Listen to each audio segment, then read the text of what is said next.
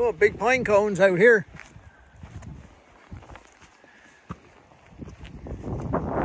Oh yeah, chain rack. Yeah, the rack, the, the, the thing here for tying the booms off. Yeah. Back when they used to have the uh, pulpwood, right?